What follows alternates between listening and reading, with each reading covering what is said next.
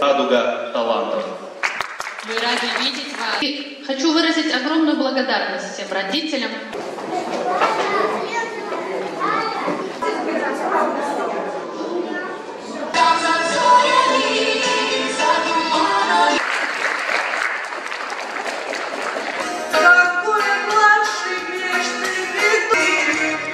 Какой прогноз дождь?